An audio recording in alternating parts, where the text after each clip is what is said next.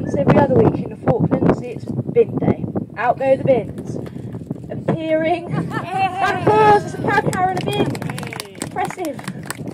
There we go. Appearing on bin day are thousands of caracaras and they're going to go through your bins looking for anything edible. It might be last night's pizza, a bit of mouldy old sandwich.